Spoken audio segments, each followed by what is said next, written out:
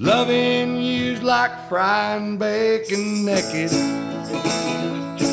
Whoa, you tempt me, darling.